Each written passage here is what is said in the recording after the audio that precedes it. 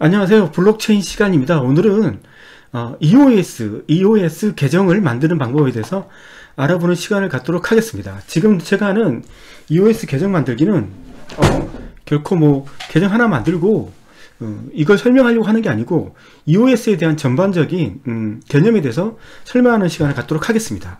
어, 이건 실전입니다. 어떤 거냐면 음, EOS에는 많은 뎁들이 있습니다. 뎁. 아, 그 중에 하나가 어, 데불이라는 게 있거든요. 데불. 써보신 분도 계실 거고 안 써보신 분도 계실 건데 이 데불이라는 것은 EOS 기반 위에서 돌아, 돌아 가는 DAB입니다. SNS고요. 어, 이 데불은 특징이 상당히 어, 글을 쓸때 긴 글을 쓰는 게 아니고 짤막짤막한 글을 씁니다. 여기 보시면 알겠지만 이 올만에 들어옴 이렇게 자기들에 대한 소개 아니면 뭐 자기들 신상에 대한 이런 친구들끼리 얘기 같은 것들 짤막한 글을 올리는 게 데볼의 특징이고 그다음 데볼은 음, EOS 기반 앱이기 때문에 상당히 EOS 관련되어 있는 정보들을 빨리 접할 수가 있습니다. 그래서 저는 어, 커뮤니티를 가장 많이 들어가는 곳이 데볼과 그 다음에 한 군데가 더 어디냐면 음, 스티밋이죠. 스티밋.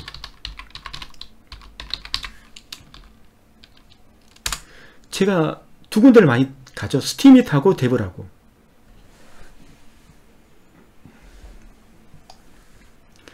제가 정보 어, 뭐야 정보 처리를 한다. 항상 이거 헷갈리는데 블록체인 할 때 가장 중요하게 생각하는 게 데브라고 스팀. 물론 저는 상당히 많은 걸 봅니다. 유튜브 같은 경우도 많이 보고 있고요. 유튜브에 제가 뭐 보는 사람들 상당히 많아요. 여기 보시면 알겠지만 제가 구독하고 있는 음 제가 구독하고 있는 사람들이 있거든요.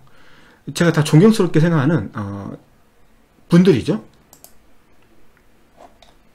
여기 보시면 알겠지만 제가 구독한 사람들이 상당히 많아요. 여기. 보시면 알겠지만 저는 이것들 다 봅니다.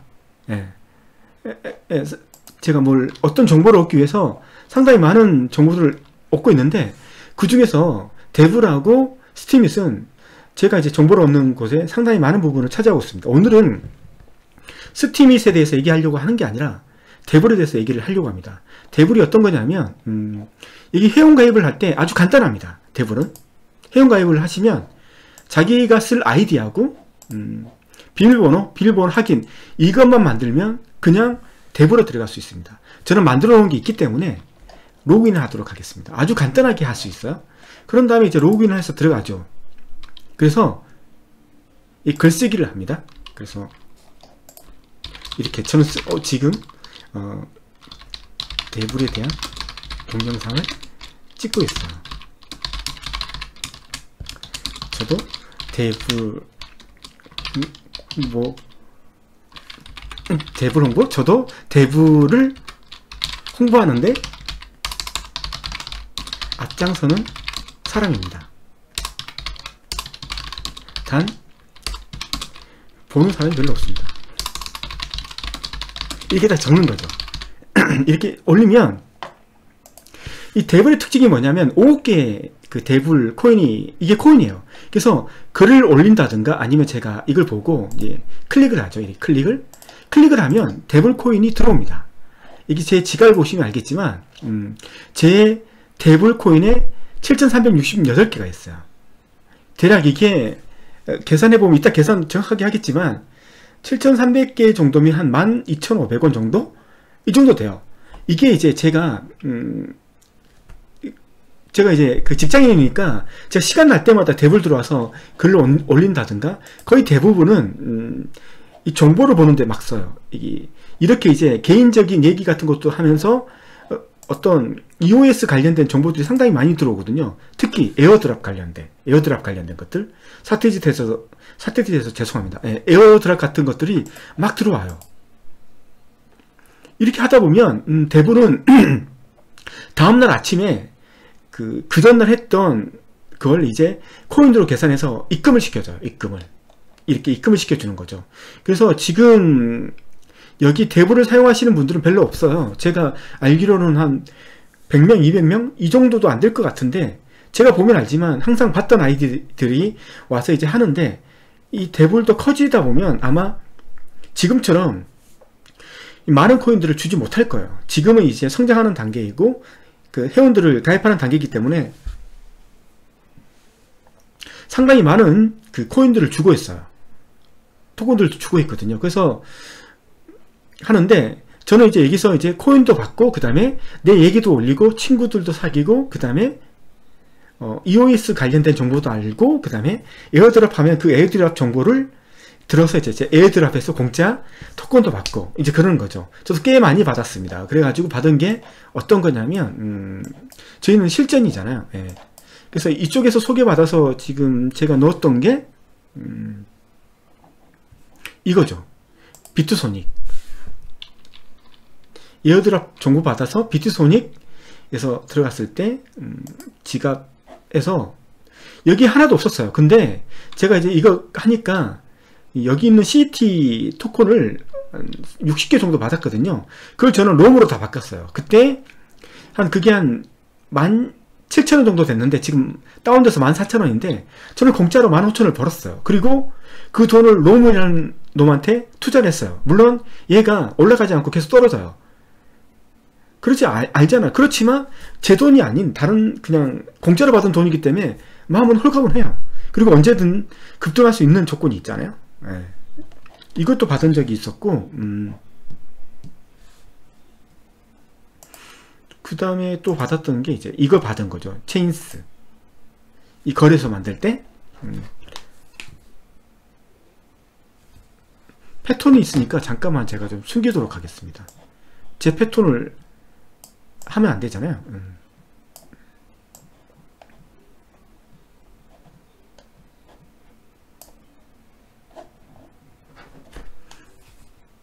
체인스는 뭐 물어보는 게 많아요. 음. 뭐 이게 뭐 아까 그것도 하고 그 다음에 비밀번호 아 이게 다 보이네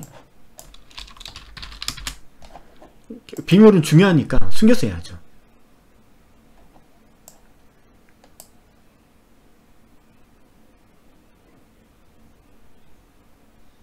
아, 상당히 많이 물어보네. 아, 찬스가, 아, 그, 그렇죠. 보안 뚫리면 안 되니까 많이 물어보는 건 좋은 거죠. 예. 뭐, 그거 가지고 제가 뭘 하면 안 되죠. 단지, 다른 데는 그냥 뭐, 그거 있잖아요. 그, 지문으로 그냥 되니까. 그게 좀 편한데, 체인스는 지문이 안 되니까.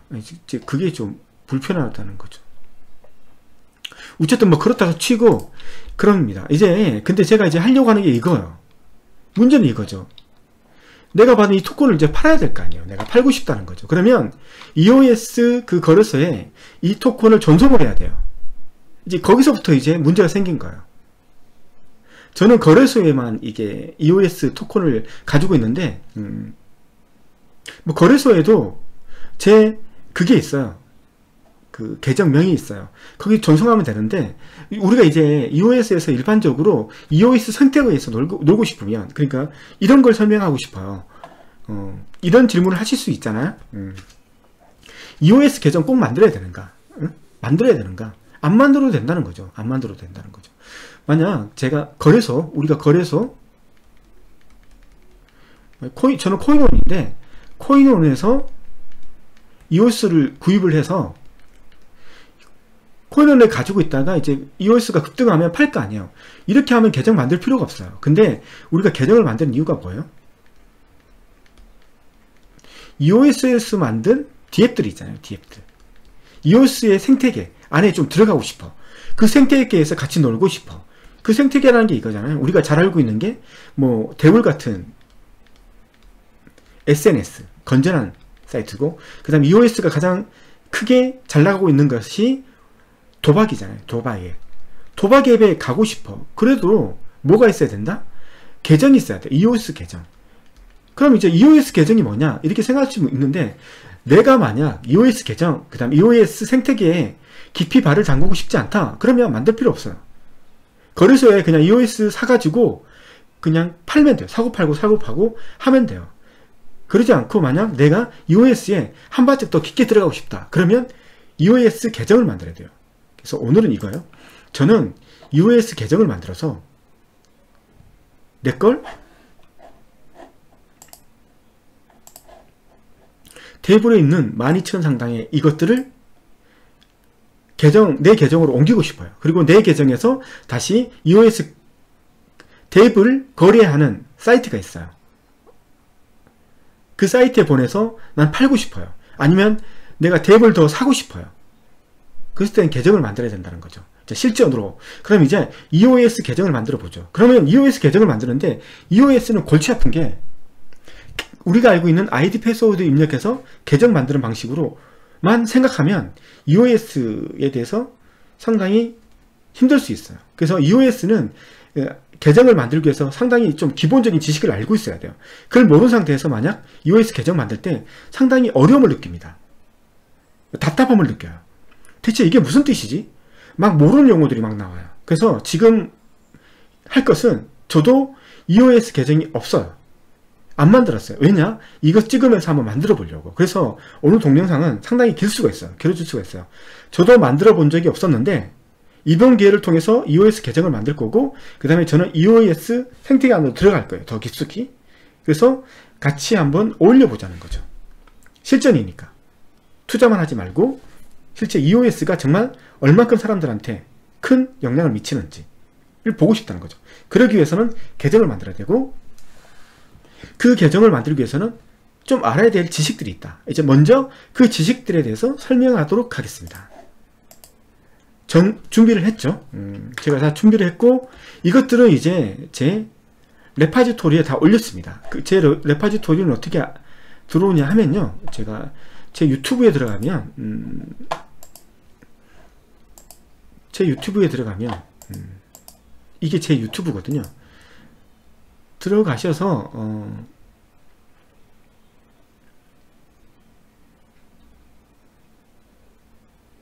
들어가는데 상당히 시간이 걸리네요. 여기서 이제 음, 제가 비트코인이니까 여기 들어가서 이거 들으려고 하는 게 아니라 어,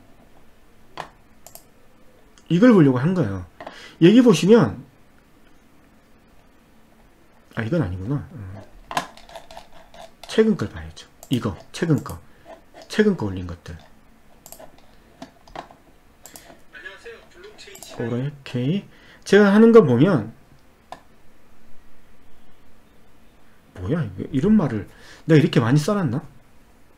스티미 티스토리 음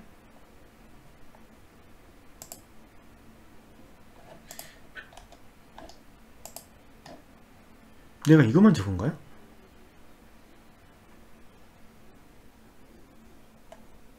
이상호만 적어놨네. 제가 제 기술 알려드릴게요. 제 기술. 음.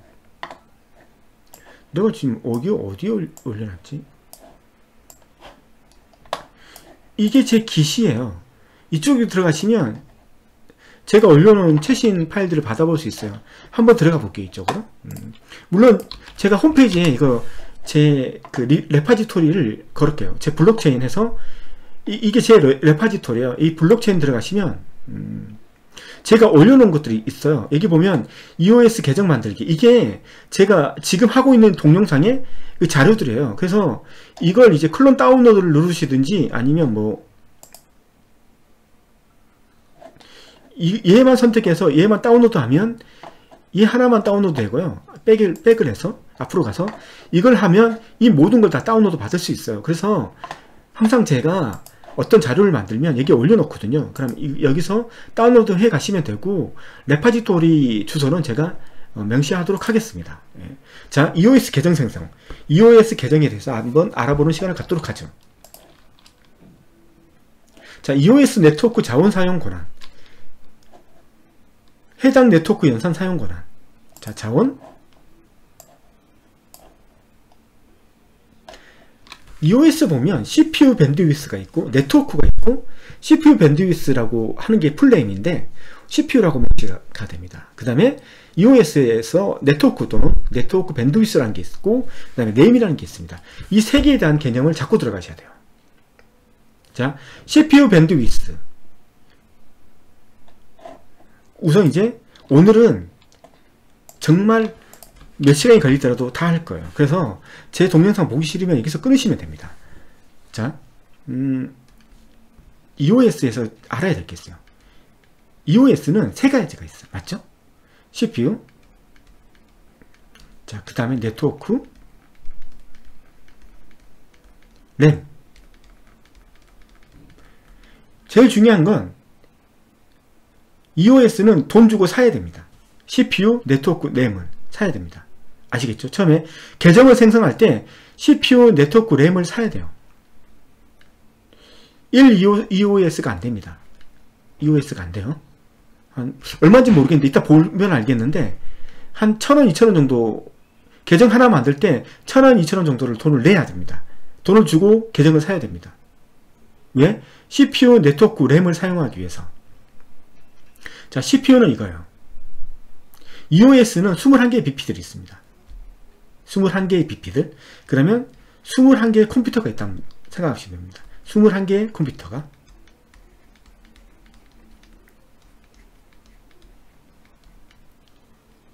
자 그러면 우리가 처음에 우리가 거래를 한다고 생각하시죠 거래를 하면 이게 네트워크를 통해서 쏘는 거죠 맞죠 어떤 사용자가 거래를 하게 됩니다 내가 EOS를 판다 그러면 네트워크 선을 통해서 쏘는 거죠 이때 네트워크를 보낼 때 쓰는 써야 됩니다 그러기 위해서는 네트워크를 쓸 수 있는 어떤 양이 있어야 되고 그걸 돈으로 사야, 사야 됩니다. 만약 네트워크에 아무것도 없다. 근데 내가 거래를 발생한다. 그러면 이 거래는 성사가 되지 않습니다. 어느 정도 있어야 된다는 거죠. 어느 정도. 자, 그러면 네트워크에 어느 정도 있고 EOS 계정 만들 때 돈을 주고 사기 때문에 그때 네트워크가 들어옵니다. 얼마 정도가 들어옵니다. 아시죠? 그럼 이제 그걸 가지고 씁니다. 사용하고 이때 네트워크 비용이 발생하는 거죠. 그 다음에 얘가 각 컴퓨터가 이제 블록체인에 넣기 위해서 지금 현재 들어온 이 거래가 적합한지 CPU를 통해서 막 검, 검사를 하게 돼 있잖아요. 검사. 이게 적합한지 아니면 엉뚱한 애가 보낸 건지 이걸 블록체인에 넣어도 되는지 상당히 많은 검사를 해야 되죠. 이 검사를 할 때 컴퓨터는 뭘 사용합니까? CPU를 사용하죠. CPU. CPU를 사용해서 드랍화 시킬지 아니면 블록체인에 할지 적합한 사용자인지 그걸 계산해서 블록체인에 넣습니다. 자 그때 쓰는 게 CPU입니다. 맞죠? 계산을 하게 돼 있잖아요. 이걸 넣을지 말지 계산하는 거죠. 네트워크는 내가 21개 BP한테 보내는 거죠. 새로 발생된 트래픽을 보내는 거예요. 이건 네트워크 선을 통해서 보내는 거죠. 그때 발생한 피고 CPU는 이제 받은 이 데이터가 transaction이 적합한 건지 아니면 내가 drop시켜야 되는 건지 그 다음에 악의적인 사용자가 보낸 건지 다 판단을 해서 블록체인에 넣어야 될 거 아니에요 맞죠? 그때 이제 CPU 계산을 해야 되니까 그때 CPU가 사용하게 되어 있습니다 그때 CPU에 얼만큼의 CPU 그 양이 없으면 이 계산을 못하게 되어 있으니까 결과적으로 그 사람은 아무것도 못하는 겁니다 아시겠죠? 음. 중요한 건 제가 EOS 계정을 만든 후에 그 다음에 계정을 만들 때 돈을 주면 CPU하고 네트워크가 얼마 정도가 할당이 됩니다. 할당이 됩니다. 그걸 가지고 충분히 이런 그 거래를 할 수 있는 정도의 CPU하고 네트워크 양을 차지하는 거죠. 중요한 것은 CPU와 네트워크는 CPU와 네트워크는 사용을 하면 할수록 제가 천개가 있다. 자꾸 사용을 할수록 영의 수렴 아, 그 없어지는 겁니다. 없어지는 거예요. 없어지면 내가 이제 네트워크를 통해서 보내야 되는데 네트워크 보낼 때 한 10 정도가 필요한데 10도 없다. 그럼 그 작업을 못해요. 하지만 CPU하고 네트워크는 많이 쓰면 줄어들지만 안 쓰면 24시간 안에 다시 100% 충전이 됩니다. 충전 개념입니다. 그러면 충전이 충전이 되기 전까지 그러니까 네트워크 10, 그 다음에 CPU가 10이 된다면 20 정도의 그 양이 없으면 못하고 있다가 20 정도가 채워주면 거래를 할 수 있다는 거예요. 그리고 안 쓰고 가만히 있으면 24시간 뒤에는 원래 있던 그 양만큼 차게 되어 있습니다. 그런 개념이에요. 이 개념이 있는 것은 이거예요. 이런 거죠. 악의적인 사용자가 디도스를 공격하는 거죠. 이런 공격 많이 있습니다. 그러니까 악의적인 사용자가 트래픽을 동시에 동시에 천만 건을 보낼 수 있어요. 근데 EOS에는 어떤 게 있다? CPU, 네트워크 개념이 있어서 자기가 가지고 있는 만큼만 그 트래픽을 발생할 수 있는데 그렇기 때문에 이 사람이 천만 건 보낸다 해서 천만 건이 다 들어가지 못해요. 아예 쏘지도 못해요. 왜냐? 자기가 CPU하고 네트워크를 이 천만 건을 쏠려면 천만 건에 해당하는 CPU 양하고 네트워크 양이 있어야 돼요. 그걸 돈 주고 살려면 어마 돈 주고 사는 게 아니고 어마어마한 양을 staking 시켜놔야 돼요. 아시겠죠? 자, 제가 CP하고 네트워크를 먼저 설명하고 램은 설명하지 않죠? 왜요? CP하고 네트워크는 내가 가지고 있는 양을 계속 가질, 수, 가질 수가 있다. 그렇지만 쓰면 없어졌다가 안 쓰면 다시 내가 가지, 가진 양만큼 다 채워진다. 이런 개념이에요. 그래서 없으면 못 쓰는 거고 다시 채워주면 쓸 수 있는 개념이고 그리고 CPU하고 네트워크가 내가 처음 할당했을 때 천을 받았다면 이걸 더 늘리고 싶다. 그러면 내가 지금 계정이 있는 지갑에서 내 EOS를 staking 시키면 staking 시키면 EOS 양만큼 이게 늘어나요. 그러니까 하나의 EOS를 staking 시키면 천이 늘어난다 치면 100개를 하면 만 개가 많이 늘어난다는 거죠. 이런 거죠. 스테이킹 시켜놓으면 자 그러면 우리 같은 일반 사용자가 CP하고 네트워크를 왜 사용하지? 많이 사용하지 않아요. 그냥 우리가 계정을 생성할 때 받은 CP하고 네트워크 가지고 충분히 사용할 수 있단 말이에요. 맞죠? 근데 이 CP하고 네트워크를 엄청나게 많이 필요한 사람들은 누구예요? 뒤에 이런 사람들 이거, 이것들 왜 필요한 거예요? 자 대불이에요. 이 대불에는 사용하는 사람들이 엄청나게 많아요. 엄청나게 많다고요. 그러면 내가 이거 쓸 때 내가 이거 쓰, 면 네트워크 이거 쓰자마자 네트워크 전송해야 되는 거죠. 그 다음에 내 걸 보고 이게 이상한 글씨인지 아닌지 CPU가 판단해야 되는 거죠. 그러기 위해서는 내가 글을 쓸 때마다 내 네트워크하고 CPU 양을 체크해서 그걸 지불해야 돼요. 근데 지금 대본에서는 내가 지불합니까? 그냥 쓰면 돼요. 그걸 누가 누가 지불해요? 대본을 만든 이게 디앱이라고 부르는데 대본을 만든 사람이 이걸 지불하게 돼 있어요. 그러면 이 사람은 여기 사용자가 많아지면 많아질수록 뭐가 필요하다? CPU하고 네트워크 양이 엄청나게 많이 필요하게 된 거예요. 필요하단 말이에요. 그럼 그분들은 그 DApp을 그러니까 DApp을 만든 사람들은 CPU하고 네트워크를 아주 많은 양을 확보하기 위해서 엄청난 EOS를 staking 시켜 놓습니다. staking을. staking이라는 게 뭐냐면 내 돈이 없어지는 게 아니에요. 내 돈이 만약 1000 EOS를 staking 시켜 놓는다. 그러면 이 staking 시켜 놓으면 어디서 staking 시키냐? 내 계정이 있는 지갑에서 지갑에서 staking 기능이 있는 지갑이 있어요. 그래서 staking 시켜 놓으면 이 1000에 1000에 1000 EOS에 버금가는 양이 CPU가 늘어나요. 네트워크도 늘어나고. 그래서 DApp을 만들거나 airdrop 하는 사람 있죠. airdrop. 공짜로 공짜로 자기 토큰을 나눠주는 사람. 그런 사람들도 뭐가 필요해요? 그 많은 사람들이 airdrop 받기 위해서 네트워크를 쓰잖아요. 그럼 그걸 누가 지불한다? airdrop 하는 사람이 지불해야 돼요. 그런 분들은 EOS를 staking 시켜놔요. 근데 staking 시켜놓는다는 말이 뭐예요? 그 돈이 없어지는 게 아니에요. staking만 시켜놓으면 되는 거예요. 그럼 늘어나고 이 staking 시켜놓은 돈을 다시 찾고 싶다. 그러면 unstaking 기능이 있는데 unstaking 누르면 이 천이라는 것이 다시 내 지갑으로 들어오고 그 천을 다시 팔 수도 있어요. 아시겠죠? staking은 내 천이 없어지는 게 아니다. 단지 staking 시켜놓은 것은 매매를 못하고 내가 즉시 팔지 못한다. 현금화 시켜놓지 못한다. 현금화 시키기 위해서는 staking 시켜놓은 걸 다시 unstaking 시켜야 되고 그렇게 되면 CPU 양과 네트워크 양이 그만큼 줄어들게 돼 있다. 아시겠나요? 그래서 CPU하고 네트워크를 사기 위해서 스테이킹하는 그 돈은 없어지지 않는다. 단지 내가 매매를 못할 뿐이다. CPU 네트워크. 여기까지 하고 중요한 건 램이에요. 램은 없어져요. 그래서 CPU하고 네트워크는 같이 설명했고 램은 따로 설명하는 거예요. 램은 뭐냐면 21개의 BP가 있습니다. 21개 BP 컴퓨터가 BP가 블록 프로듀서라고 해서 블록체인을 만드는 사람들이에요. EOS에는 21명이 BP가 있어요. 그리고 이 BP가 되기 위해서 상당히 많은 사람들이 어, 노력하고 있죠.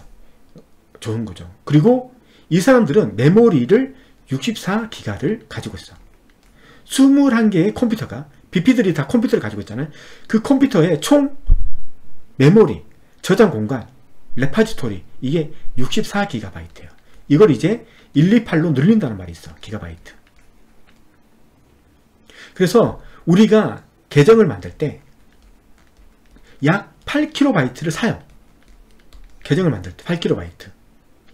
그래서 64기가면 이 64기가에서 8kB를 내가 사는 거예요. 그럼 그 8kB는 내 거예요. 평생 동안. 그렇지만 그 8kB를 쓰는 그건 금액은 지불해 줘야 돼요.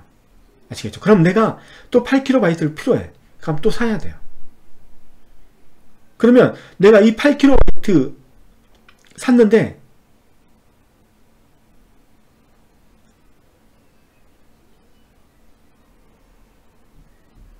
팔 수도 있지 않느냐? 팔 수도 있죠. 당연히. 램으로 샀으니까. 램. 램이라는 것은 이것도 토큰이에요. 램이라는 토큰을 가지고 사는 거예요. 구입을 하는 거예요. 중요한 건 이걸 살 때는 돈이 들어간다는 거. 돈이. 돈이 상당히 많이 들어간다는 거. 왜? 64GB는 한정돼 있잖아요. 네트워크나 CPU는 사람들이 엄청나게 많이 쓸 때는 CPU가 풀나고 네트워크가 풀나요. 그러면 컴퓨터가 뻗어버리거나 아니면 네트워크에 뭘 전송하지 못하잖아요. 그렇지만 사람들이 사용하지 않으면 다시 온 상태가 돼요. 그렇기 때문에 그 애들은 제가 돈을 주고 산다 하더라도 내 돈을 뺏어가지 않아요. 맞죠? 이건 사야 되는 거예요. 돈으로. 램은. 내 돈이 나가는 거죠. 하, 그렇지만 램은 거래소에서 팔 수도 있고 살 수도 있어요.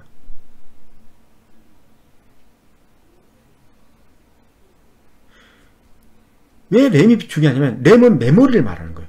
64GB라는 게 한정되어 있는데 EOS 쓰는 사람들이 처음에는 1000명이었어. 그럼 64GB가 너무 많으니까 램 가격이 얼마 안 했어요. 근데 지금 이게 기하급수로 100만이 써, 써요. 100만이. 1000만 썼던 게 100만이 써요. 그러면 램 가격이 올라가는 거죠. 램 가격이 올라가게 돼 있어요. 맞죠? 올라가게 돼 있잖아요. 한정되어 있는 자원을 100만 명이 쓰려고 해요. 서로 64GB의 자기 영역을 차지하려고 램을 사는 거예요. 그럼 램 가, 가격이 올라가는 거죠. 사야 되기 때문에. 원래는 이제 그 목적으로 만들었는데 이제 투기 수요가 붙어서 이 메모리를 만들려고 램을 사는 게 아니라 그냥 사는 거예요. 투기 목적으로. 램 가격이 그러니까 이제 이게 64GB 하니까 너무 램 가격이 폭등하니까 128GB 늘려버리는 거죠. 이렇게. 이 공간에 뭐가 저장돼요? 계정들에 대한 계정 정보들이 다 들어가죠. 계정 정보들이. 계정에 계정이 필요한 정보들, 가지고 있어야 될 정보들이 있는데 그 정보들이 저장을 해야 되는데 그걸 이제 가지고 있는 거죠. 그럴 목적 으로 만드는 거죠. 램은. 그래서 램은 좀 틀리다. 내 돈이 나간다. 8kg를 또 8kg 사고 싶다면 램을 가지고 또 사야 된다. 그걸 메모리를. 왜냐 64GB는 한정되어 있는데 이걸 공짜로 한다고 생각해 보세요. 그럼 누구는 1기가를 가져갈 거고 누구는 1기가 가져가면 EOS 생태계는 10명, 10명만이 쓸 수 있는 그런 플랫폼밖에 되지 않는 거예요. 그래서 이게 경쟁체제로 만들어 놓은 거고 램 값이 이렇게 됐을 때는 폭등을 해가지고 사람들이 가격이 높으니까 이제 그 수요 공급의 법칙에 따라서 64GB를 적정하게 유지시키려고 하는 거죠. 그렇지만 사람들이 많이 늘어나니까 옛날에는 1 EOS였는데 이게 좀 더 폭등하게 되는 거예요. 계속. 예. 그래서 램은 좀 다른 개념이다. 이렇게 생각하시면 될 것 같습니다. 자, 다시 한번 요약하시죠. EOS는 음, 21개 BP들이 있어요. 이렇게 전 세계에 분포되어 있죠. 그러면 우리가 이걸 하나의 컴퓨터라고 생각하시죠. 이 하나의 컴퓨터. 하나의 컴퓨터라고 생각하시죠. 자, 이 컴퓨터는 CPU가 계산되어 있습니다. 계산하는 애죠. 판단하죠. 누가 새로운 트랜잭션, 새로운 거래가 일어났어. 그러면 21개 BP가 검증을 하는 거죠. 이건 블록체인에 넣어도 돼, 안 돼도 돼. 그래서 50% 이상이 이건 넣어도 된다고 판단되면 이건 블록체인에 넣는 거예요. 그럼 그 판단 누가 합니까? CPU. 그 다음에 네트워크. 누군가 하나의 트랜잭션을 EOS 네트워크에 뿌렸어요. 그럼 그 네트워크는 21개 BP한테 다 퍼져 전달될 거예요. 맞죠? 근데 어떤 애가 디도스를 공격을 해서 한 방에 천만 건의 트래픽을 만들었어요. 천만 건의. 그러면 네트워크는 full 나겠죠. CPU는 뻗겠죠. 그런 문제가 생기는 거죠. 그렇기 때문에 EOS는 하나의 컴퓨터로 보고 CPU하고 네트워크가 뻗지 않을 정도의 용량을 딱 계산을 해서 그게 그 이상이 되지 않도록 정확하게 계산해서 만들어 놓은 거예요. 그래서 누구는 EOS 모든 사람들이 총합이 이 EOS가 견딜 수 있는 CPU하고 EOS가 받아들일 수 있는 네트워크 밴드위스 양을 딱 정해놨어요. 그래서 EOS 생태계가 죽지 않도록 뻗어버릴 수, 뻗어버리지 않도록 안전장치를 만들어 놓은 거죠. 램은 또 뭐예요? 메모리 역할을 하죠. 메모리 역할을. 메모리. 메모리 역할을 합니다. 우리가 알고 있는 뭐? 하드. 여기 안에 뭐가 들어간다? 계정 정보. 기타 뭐 중요한 정보도 들어가겠죠. 어, 이 두 개는 자기가 가지고 있는 양만큼 쓸 수 있어요. 자기가 가지고 있는 양만큼. 이걸 많이 가지고 있으면 이 하나의 컴퓨터를 많이 사용할 수 있는 거고 적게 가지고 있으면 적게 쓸 수밖에 없어요. 적게 쓴다는 말이 뭐냐? 많이 보낼 수 없어요. 이렇게. 많이 쓸 수 없다는 거예요. 그걸 많이 쓰고 싶다. 그러면 스테이킹을 시켜놔야 돼요. 자기 EOS, 를 자기 지갑에서 staking 기능을 로 버튼을 클릭하면 staking 될 거고 그러면 자기는 이 EOS 컴퓨터를 더 많이 계산시킬 수 있고 EOS 컴퓨터에 더 많이 네트워크로 보낼 수 있는 거예요. 그리고 계정 그 다음에 CPU 같은 거 아니 하드디스크 같은 거 돈이 많으면 램이라는 토큰을 사서 8kg 1기가까지 살 수 있어요. 그렇지만 엄청난 돈을 지불해야 되겠죠. 예, 이런 식의 EOS가 이렇게 만들어 가지고 자기 시, 자기 생태계가 죽지 않고 영원토록 지속되기 될 수 있도록 그걸 컴퓨터처럼 뻗지 않을 정도의 모든 것을 계산해서 EOS 생태계에 있는 모든 사람들이 그 기준치 안에서 쓸 수 있도록 분배시켜 놓은 거예요. 자, 그래서 CPU 밴드위스, 네트워크 밴드위스. 중요한 건 내 걸 다 쓴다 하더라도 다시 24시간 뒤에는 다 채워진다. 예, 그게 중요한 거예요. 스테이킹을 시키면 더 많은 대역폭을 사용할 수 있습니다. 맞죠? 하지만 EOS를 스테이킹한 EOS를 더 이상 사용할 수 없습니다. EOS는 매매 불가능, 불가능한 거죠. 이렇게 되는 거죠. 네. 그 다음에 언스테이킹 시키죠. 그러면 EOS 매매 가능 72시간 뒤 이런 룰이 있어요. 언스테이킹 시키면 72시간 뒤에 다시 매매 가능하도록 자기 지갑에 다시 들어옵니다. 네, 그런 개념. 하지만 대역폭은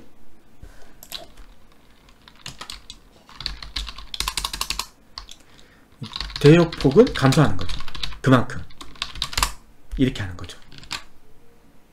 램이 중요합니다. 메모리입니다. 메모리, 하드디스크. 뭐가 저장된다? 계정 정보들이 저장하죠. 내 계정 정보들. 내 계정 정보, 정보들도 있고, 그 다음에 내 public key, 뭐 이런 것들 정보들 있잖아요. 이런 것들. 자, BP에서 제공하는 거예요. BP 21개 BP가 있죠. 21개 BP. 블록 프로듀서의 서버에서 제공하는 거죠. 네.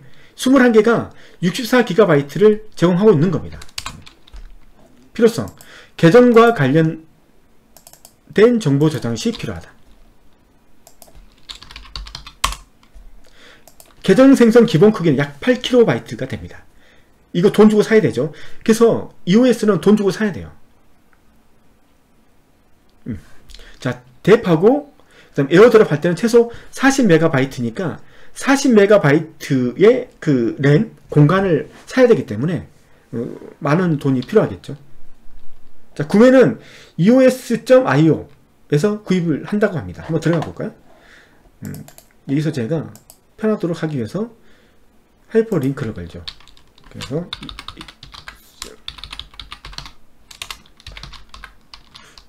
eos.io 라고 하고 얘기 한번 들어가 보죠.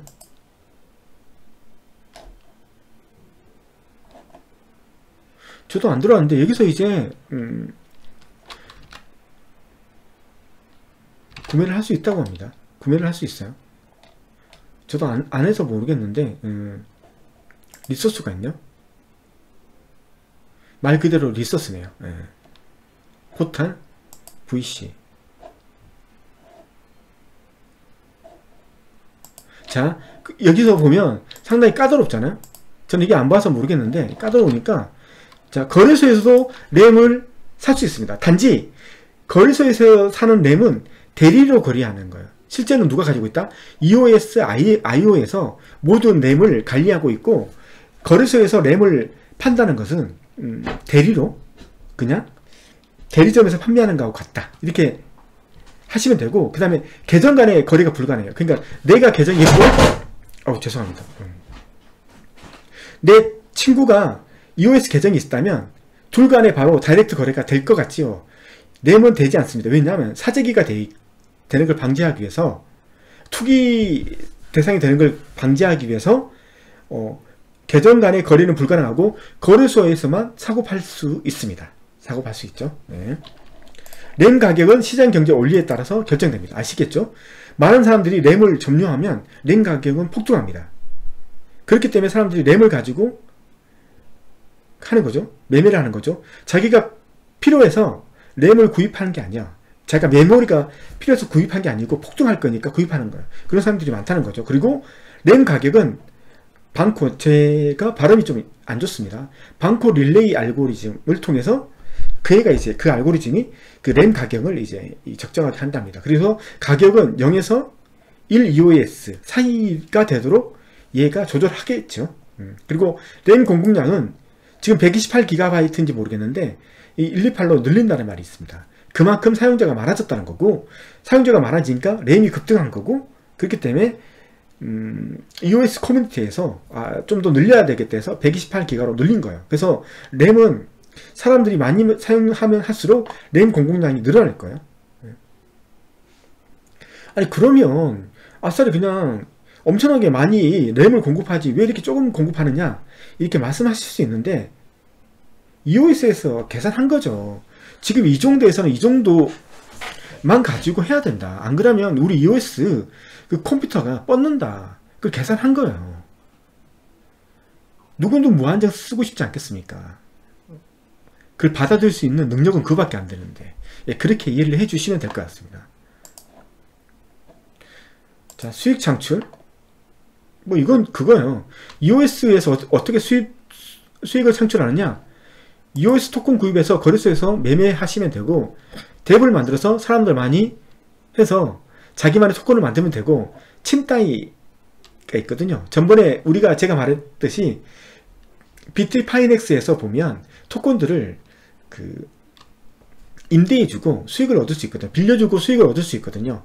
그게 EOS에도 이제 그게 있다는 거죠. 그게 침따이라는 건데 이건 나중에 시간 되면 할 거예요. 실전편이니까 우린 실전으로 해야 될 거 아니에요.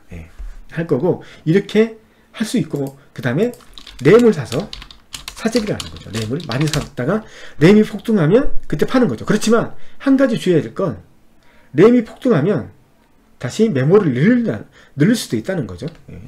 그걸 염두에 두셔야 되는 거고 음. 자 실전편 자 EOS 계정을 한번 만들어 보도록 하겠습니다. EOS는 항상 중요하지만 개념이 중요합니다. 계정, 계정 만들 수 있어요. 계정 하는 대로 만들 수 있는데 그걸 이제 기본적인 베이스를 알고 있는 상태에서 만든 거하고 모르는 상태에서 만든 거하고 틀립니다. 모르는 상태에서 만들면 상당히 답답함을 느낍니다. 이게 대체 무슨 용어지? 무슨 말이지? 그래서 오늘 제가 시간이 많이 걸린다 하더라도 끝까지 가는 거죠. 실전을 위해서. 계정 하나 만든, 만든다고 이 계정 만들어서 제 대불 코인을 내 계정으로 옮기고 그 계정에 있는 걸 대부를 판매할 수 있는 거래소로 옮기고 그래서 살 수도 있고 판매할 수도 있고 그러려고 제가 지금 이걸 하고 있는 거잖아요. 무한도전. 응? 자, EOS 계정. 기본적인 구조입니다. 이해가 안 되실 분도 있는데 제가 최대한 한번 열심히 한번 설, 설명해 보고 그래도 이해가 안 된다.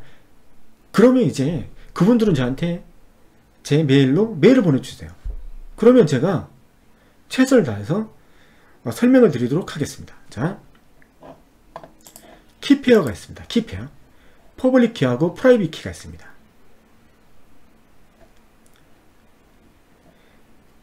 EOS 계정에는 네 가지 용어가 나옵니다. 키 관련해서. 키가 public, private, owner, active, active, active key. 한번 이걸 설명해 드리죠. 음. 제가 누누이 말씀드리지만 저는 이 모든 정보들을 Steemit이나 iOS 데블에서 얻었고 그 다음에 그 정보들을 지금 공유하는 겁니다. 이 지식은 저의 지식이 아니라 스티밋에 그분들 이름을 다 명시할 건데 예. 자 iOS가 쓰는 키가 4개가 있어요. 중요한 것은 오너 키예요. EOS 키, 키예요. 키는 다 뺄게요. owner key가 있고 active key가 있어요. active. 그리고 public key가 있고 private key가 있어요. 그래서 이 두 개는 한 쌍으로 보시면 돼요. 그래서 key pair라고 하잖아요. 한 쌍이다. key pair. 이건 하나의 key pair다. key pair가 무슨 뜻인지 설명해 드릴게요. 그래서 owner도 key pair가 한 쌍이 있어야 되고 active도 한 쌍이 있어야 된다. 이렇게 보시면 맞습니다. 그리고 하나 더 이런 경우죠. owner도 key pair가 하나가 있어야 되고 자, 그 다음에 active key도 key pair가 하나가 있어야 돼요.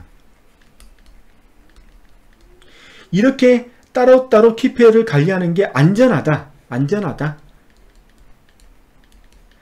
하지만 거의 대부분은 키 한, key pair 하나를 만들어서 owner key도 이걸 바라보게 하고 active key도 이렇게 바라보게 한다. 이런 구조는 안전하지 않다. 라고 정의를 내릴 수 있죠. 항상 우리는 owner key, key pair 하나, active도 key pair 하나 이렇게 쌍을 가지고 있는 게 맞다라고 설명을 드립니다. 그렇지만 나는 뭐 그래도 상관없어 하면 하나만 만들어서 귀찮아 하나만 만들어서 owner key도 active key도 이 하나를 연결할 수 있습니다. 네, 방법은 많죠. 그럼 owner key와 active key가 뭐냐? 자 그러면 음, 비트코인을 한번 생각해 보죠. 비트코인.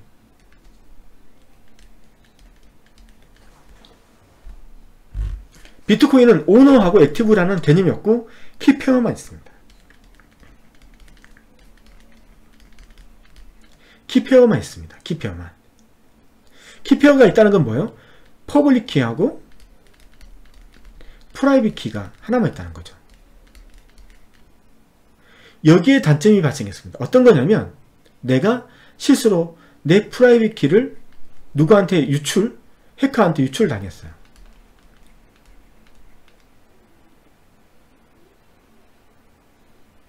그럼 어떻게 해야 돼요? 다시 BTC는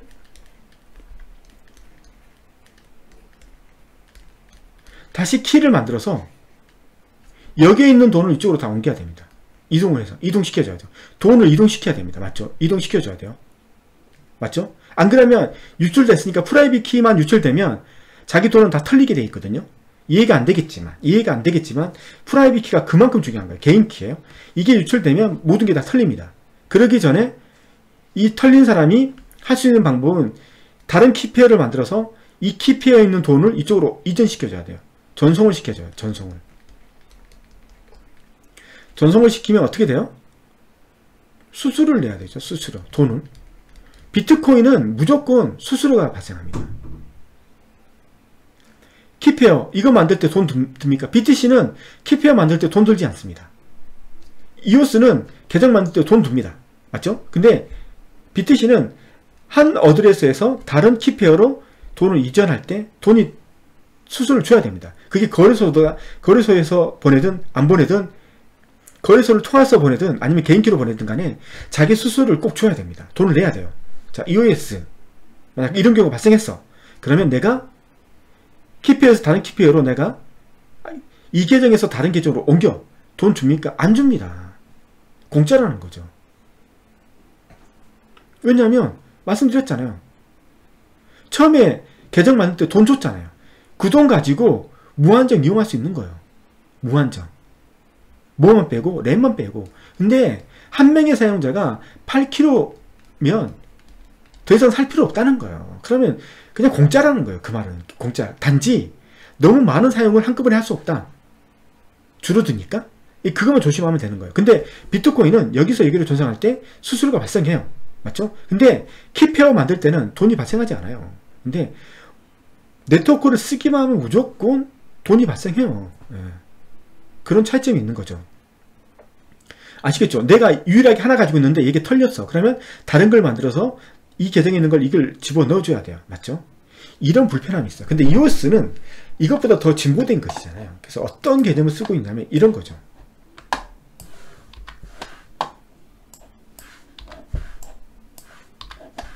일반적으로 active를 active가 모든 거래에서 active를 씁니다. active를 쓴다는 것은 active하고 연결되어 있는 key pair를 사용합니다.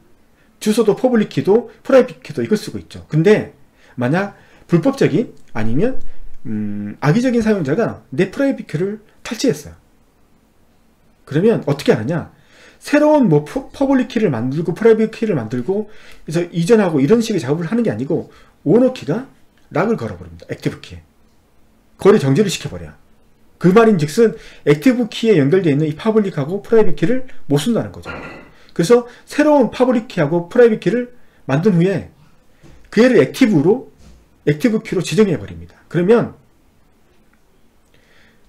여기 있는 돈을 여기 있는 돈을 새로 만든 얘한테 할 필요 없이 그냥 오너키만 오너키가 이거 안 쓰고 다른 거 쓸래 라고 하면 그걸로 끝나는 거예요. 거래 전송할 필요 없는 거예요. 이 차이점을 아시겠습니까? 두 개의 차이점을. 예, 그러니까 편한 거죠. 그렇지만 이런 개념을 모르는 사람이 owner key가 있고 active key가 있고 public key가 있고 private key가 있으면 사람 뭐지 하면서 EOS 계정 만드는 걸 포기해 버릴 수도 있어요. 처음에. 맞잖아요. 포기할 수도 있거나 아니면 거래소만 이용하는 거죠. 거래소에는 그냥 만들어 놓고 사고 팔고 하면 되니까 이런 개념 몰라도 되거든요. 그렇지만 EOS의 생태계에 좀 더 한 발짝 더 발을 넣고 싶다. 그럼 뭐 이 개념이 괜찮은 개념이에요. 처음에만 고생하면 된다는 거죠. 그래서 처음에 owner key에 대한 key pair 하나 만들어 놓고 active에 대한 key pair 만들어 놓고 그래서 active가 털리면 owner key에서 lock 걸고 새로운 active key를 만들어서 그를 사용하도록 하면 끝! 그렇게. 근데 어떤 사람은 owner key도 이걸 바라보게 하고 active key도 이걸 바라보게 했어. 그럼 이게 털렸어. 그럼 어떻게 해요? 악의적인 사용자가 오너에 자기의 이 정보를 바꿔치기 하면 집 주인은 자기 계정에 못 들어가요. 끝난다는 거죠.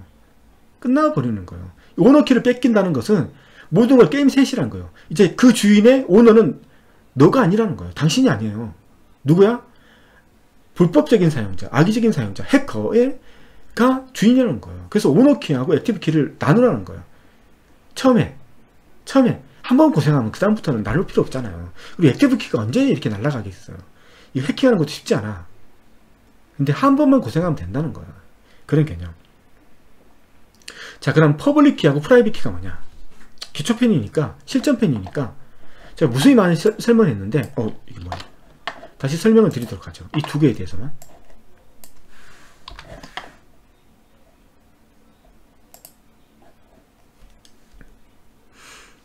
자, public key. 이건 자물쇠입니다. 자물쇠. 자물쇠예요. 자물쇠. private key. 열쇠라고 표현하죠. 열쇠. 열쇠입니다. 열쇠라고 표현하죠. public key는 자물쇠는 누구나 들고 있을 수 있어요. 이거. 이 자물쇠를 내가 들고 있어도 되고 다른 사람이 들고 있어도 돼요. 상관없어요. 그랬을 때 이 public key는 자물쇠 역할이기 때문에 이 주소는 누구나 알고 있어도 상관없다는 거예요. 그래도 상관없어요. 소유권. 이 public key는 내 주소고 이 안에 있는 돈은 내 돈이라 고 주장할 수 있는 사람은 private key를 가지고 있는 열쇠를 가지고 있는 사람만 주장할 수 있어요. 그래서 많은 사람들이 어떤 애가 내 열쇠인데 어떤 애가 내 열쇠를 가지고 도망갔어. 그게 2번이야. 2번이 도망갔어. 그 2번은 이 열쇠를 가져간다 하더라도 이 열쇠 안에 들어가 있는 내 돈을 가져가지 못해요. 가져가지 못해요. 자물쇠를 풀 수 있는 사람은 열쇠밖에 없거든. 그 열쇠는 private key를 가지고 있는 사람만 풀 수 있어요. 아시겠죠? private key만 가진 사람이 풀 수 있어요. 이렇게 이해하시면 돼요. 이거에 대한 자세한 설명은 이미 제가 동영상에 넣었어요. 그래서 private key를 유출하는 순간 game set이요. 그래서 active에서 private key를 유출하는 순간 오너, 오너에서 들어가서 이 키를 deactive 시키고 다시 자기만의 active key를 만들어서 그 애를 바라보도록 해야 돼요. 아시겠죠? public key가 유출됐어요. 그러면 상관없어요. 상관없어요. public key는 자물쇠지 키가 없기 때문에 그 안에 있는 돈을 가져갈 수 없어요. 자물쇠. 그리고 그 자물쇠는 누가 가지고 있든 상관없어요. 나도 알고 있기 때문에. 나만 열 수 있거든. key, private key는. 그래서 private key가 아주 중요하다는 거예요. 이게 털리는 순간 owner key에 들어가서 active key를 deactive 시키고 자신만의 active를 다시 만들어서 그 키를 다시 활성화 시켜야 돼요. 그렇게. 자, EOS 키는 네 가지가 있다. 두 가지다. 네 가지가 아니다. 두 가지다. owner key, active key. 그리고 owner key도 key pair가 있어야 되고 active key도 key pair가 있어야 된다. 이렇게 설명하고 key pair에 대해서 한번 설명을 드리죠. key pair에 대해서.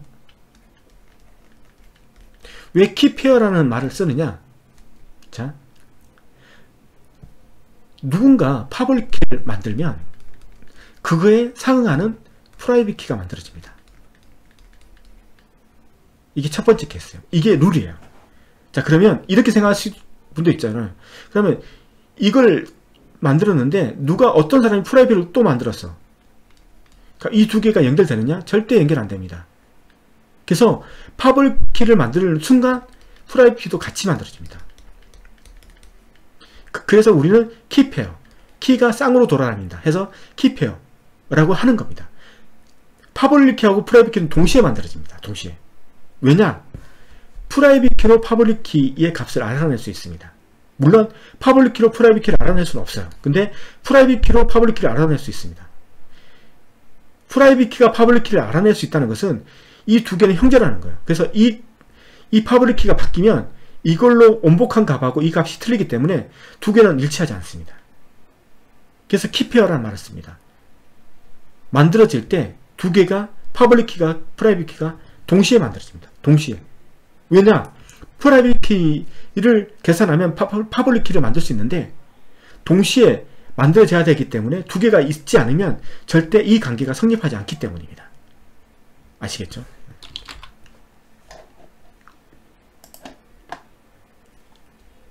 자, 그래서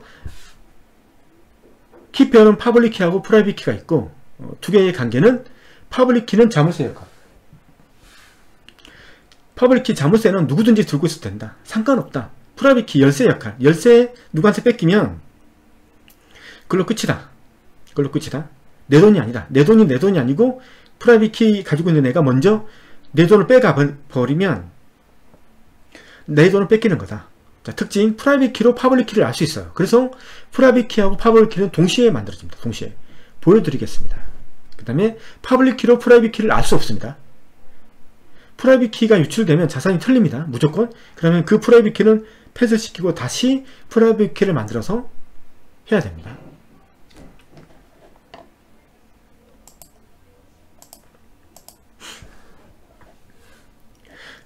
자, permission, owner key, active key. 자, owner key가 가장 큰 권한입니다. 소유 권한이고 가장 높은 수준의 권한이요. owner key가 active key를 바꿔 칠 수 있습니다. 아시겠죠? active key는 우리가 일반적으로 거래한다든가 투표한다든가 모든 EOS 생태계에서 뭐 나대는 일 이런 것들 앞에 나가서 뭐 하는 일 이런 것들은 active key가 다 합니다. 게임, 투표 참여, 토큰 전송 이때는 active key를 사용합니다. active key가 유출되면 active key가 유출되면 그러니까 active key 안에 있는 private key가 유출되면 owner key로 접속해서 얘를 disable 시키고 새로운 active key를 등록해야 됩니다. 그런데 해서 이, 이, 안에 있는 금액을 다시 새로 만든 active key로 전송할 필요 없습니다. 왜냐하면 owner key 안에 다 있기 때문에 그 금액들은 근데 owner key에 private key를 털린다 그러면 모든 걸 다 털렸다고 생각하시면 됩니다. 자 계정명 만드는 자 계정명 생성 원칙 영문 소문자로 만듭니다. 숫자 1에서 5 만들고 마지막으로 합쳐서 12 12자리입니다. 자 한번 계정명 한번 만들어 보겠습니다. 자 A에서 소문자 ASZ까지예요. 소문자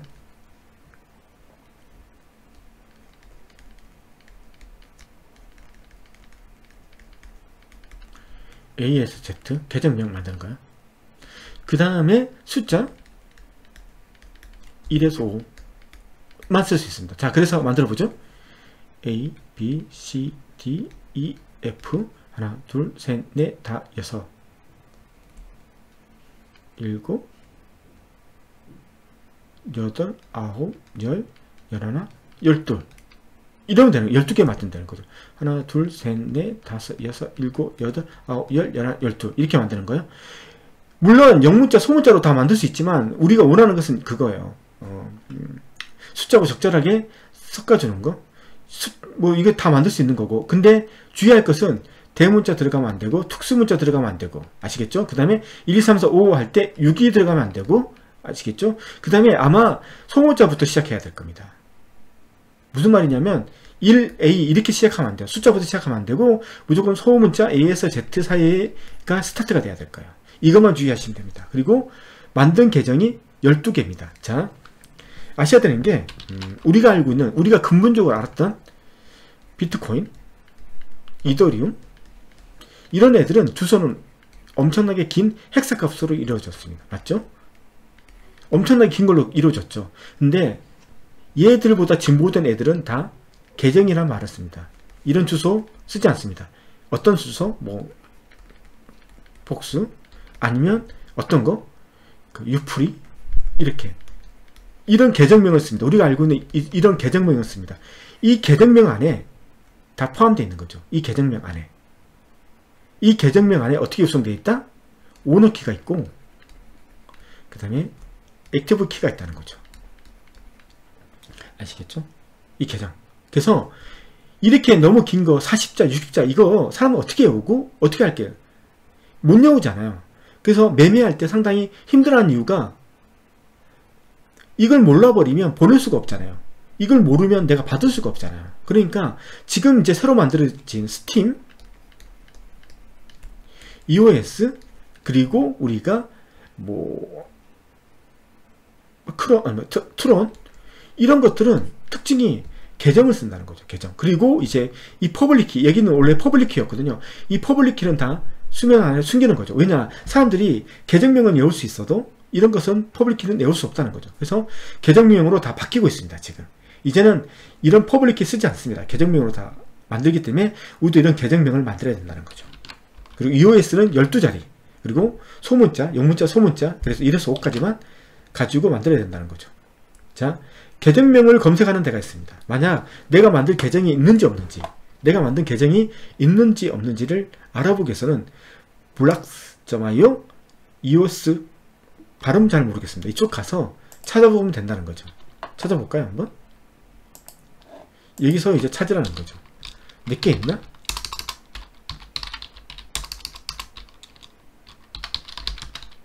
하나 둘 셋 여섯 일곱 여덟 아홉 열, 열하나, A 이렇게 한번 찾아보죠.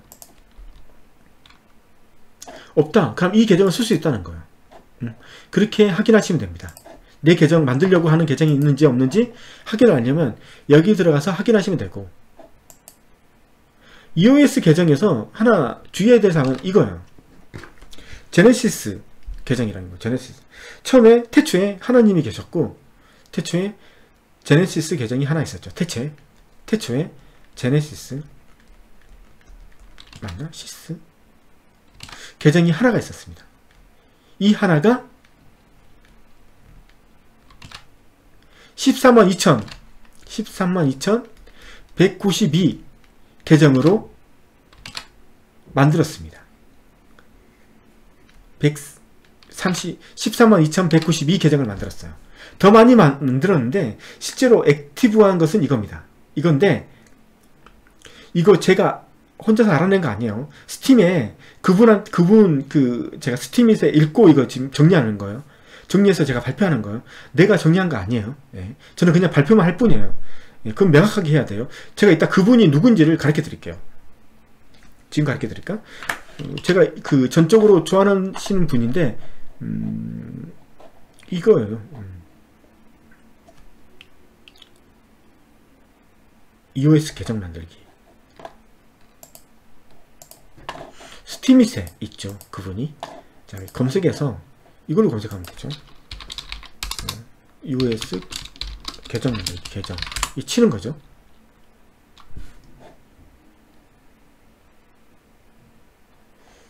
여기 보면 이게 아이디거든요. 이 아이디. 이분. 보이시죠? 이분. 여기서 다 발제해서 제가 쉽게 정리한 거예요. 이분들의 도움이 없었으면 디오님하고 디오님 거 내가 받고 저 이런 거 준비하려면 엄청난 많은 시간이 걸리는 거죠. 이분들이 있었기 때문에 내가 쉽게 이걸 정리해서 빠르게 전파시키는 거죠.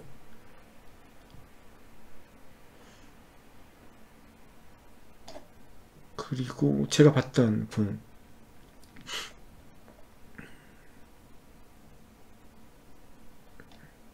디오님 말고 한 분 더 있거든요. 어차피 그걸 하, 했고 만들었고 고생한 사람들은 그 이름을 알릴 이유가 있어. 우리는 그걸 알려줄 이유가 있고 어, 그분들은 어, 그거에 대해서 그걸 받을 그거 그게 있어요. 근데 빨리 안 나오냐 이게?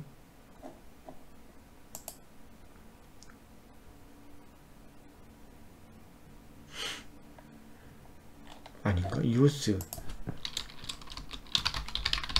어 진짜 그분이 안 나오네 디오님은 맞는데 디오님 말고 한 분 더 계시거든요 근데 그분이 안 나오네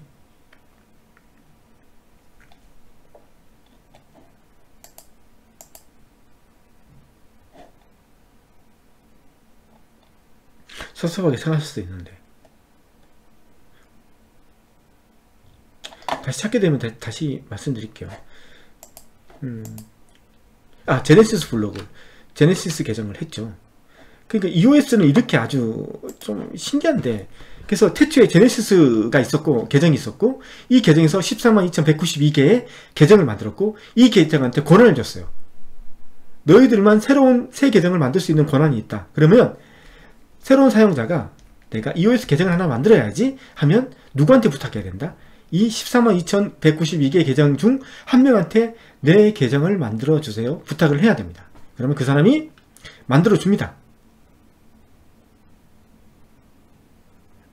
개념은 이렇다는 거예요. 그래서 우리가 만들 수 있는 데 들어가 몇 군데가 있는데 거기서 만들 건데 그 오, 기본 원리는 14만 2192개의 그 계정이 그 새로운 계정을 만들 수 있는 권한이 있는데 그 중에서 우리가 이제 계정을 만들 거라는 거죠. 우리가 계정을 만들 때 그냥 만드는 게 아니라 그걸 만들 수 있는 권한을 가지고 있는 사람이 우리 걸 만들어 준다는 거. 그리고 그 사람이 만들어 사이트에 들어가서 우리가 만든다는 거. 그, 그 사람들, 권한이 있는 사람들의 사이트에 들어가서 그 사람들이 만들어 놓은 프로그램에 그 계정을 만들 수 있는 걸 만들었기 때문에 그래서 만들어서 우리가 그 계정을 새로 만들 수 있다는 거. 그리고 나도 만들어 줄 수 있겠죠, 그러면? 이런 식이라는 거. 저도 설명하면서 좀 틀릴 수가 있거든요. 이제 그건 좀 이해를 해 주셨으면. 저도 설명하면서 미처 준비하지 않는 그런 얘기들을 할때 뻥을 칠 때가 있거든요. 예, 그런 것들은 이제 자, 이게 이거예요. POW하고 디포즈. 우리가 Steem하고 EOS는 DPoS예요. 자, 아까 EOS가 CPU하고 그 네트워크가 깎였다가 다시 늘어난다고 했잖아요. 그게 Steem하고 똑같습니다. DPoS 구조가. 한번 볼까요? Steem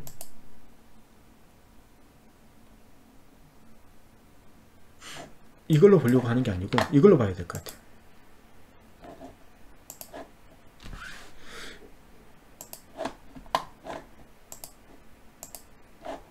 제 걸로 보죠. 제 거. 이거 보이시죠? 보이시죠? 음. 이걸로 보도록 하겠습니다. 뭐야? Why don't me? 자 여기서 제가 뭘 보려면 Steem을 보려고 해요 SteemD. 이게 이제 Steem의 resource를 표현한 거거든요. 자 EOS의 리소스는 뭐가 있어요? CPU bandwidth 네트워크 bandwidth 램. CPU는 생각하는 거. 우리가 알고 있는 CPU 네트워크는 뭐예요? 우리가 네트워크를 쏘잖아요. 그때 네트워크. 네트워크에 한꺼번에 많이 쓰면 네트워크 뻗어버립니다. 아시겠죠?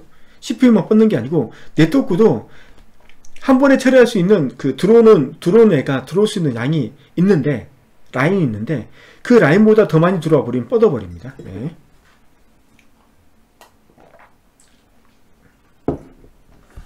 접속 자체가 안 되는 거죠. 뻗는 것은 CPU가 뻗는 거고 접속이 안 되는 것은 뭐 아니, 들어가지도 못하는 거죠. 컴퓨터 뻗어서 뭐 그런 의미 있고 자 이게 보시면 알겠지만 제가 vote weight가 있잖아요. 454 SP 아까 제가 staking 했다고 했잖아요. staking. EOS를 staking 하면 어떻게 된다 했어요? CPU bandwidth 양이 늘어나고 그 다음에 그 네트워크 bandwidth가 늘어난다고 했잖아요. 그리고 EOS를 엄청나게 많이 staking 하면 엄청나게 많은 네트워크 사용량 그 다음에 CPU 사용량이 생긴다고 했죠. 그렇듯이 음, Steem이 또 내가 Steem, Steem을 staking 시킬 수 있습니다. 그러면 Steem Power라고 하는 거죠. 그때 staking 시켜놓으면 EOS는 EOS를 staking 시키면 staking 시켰을 때 그 용어가 없어요. 근데 Steem은 Steem을 보내거든요. Steem을 보내고 그리고 그걸 이제 staking 시키면 staking 시키면 Steem Power, Power라고 돼요. SP가 스팀 파워거든요. 스팀으로 있는 걸 어떻게 한다? staking 시킨다. 그러면 Steem Power가 되고 이 Steem Power가 어떻게 된다? 커진다는 거죠. 중요한 게 뭐냐면 Steem 같은 경우는 네트워크 개념, CPU 개념이 없어요. 여기는 그런 개념이 없어요. 여기는 뭐 얼만큼 쓰든 얼만큼 뭐 네트워크에 보내든 이거, 이거에 대한 양은 없어요. 여기는 좀 그게 두 개의 차이점인데 중요한 건 같은 건 음, staking 시켜놓으면 staking 시켜놓은 양만큼 힘이 세진다는 거죠. 그 다음에 어, 여기 같은 경우 하나 에러, 에러를 보여준다면 이 Steem Power가 어떻게 쓰이는지 하면 음, 여기 Busy라는 부분이 있어요.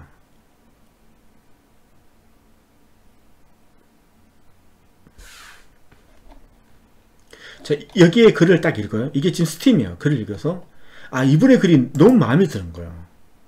맞죠? 마음에 드는 거예요. 너무 마음에 들어서 그럼 어떻게 해야 돼요? 마음에 든다. 좋아요 버튼 눌러줘야 될 거 아니에요. 좋아요 버튼. 이게 좋아요 버튼이 있어. 자, 좋아요 버튼 눌렀어요. 그러면 내 Steem Power가 100%예요. 근데 100%면 내가 줄 수 있는 돈을 줄 수 있어요. 25%면 나는 이분한테 0.00 그 밑에 있는 가치를 주는데 50% 한번 해볼게요. 그러면 나, 내가 이 사람한테 좋아요를 누르는데 나는 이분한테 내 50%의 스팀 파워를 가지고 눌러줄 거예요. 그러면 이분한테 내가 돈을 얼마나 주는가 같다? 10원. 이 달러니까 10원. 12원, 13원 정도를 주는 거예요. 그러니까 승인하면 이분한테 난 돈을 주는 거예요. 13원을. 자 그러면 이 13원을 주는데 난 줬어요 방금 이렇게 주고 있죠 돌아가고 있죠 줬어요 그럼 이제 댓글 한번 달아보죠 댓글 그래서 저한테 한번 줘볼게요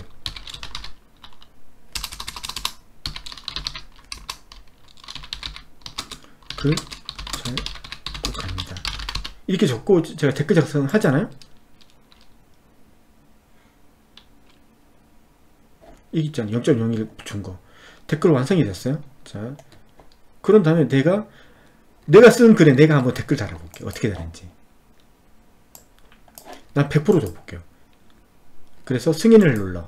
그러면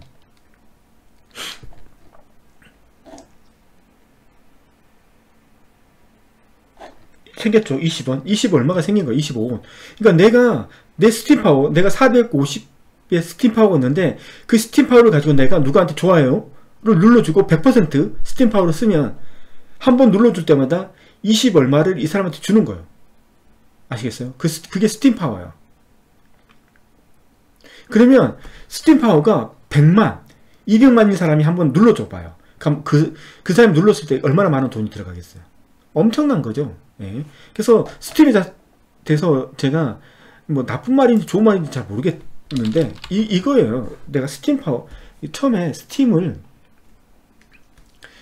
그러니까 스팀이 오늘 끝까지 가보죠. 왜냐하면 제가 이거 찍, 는 것도 힘들어요.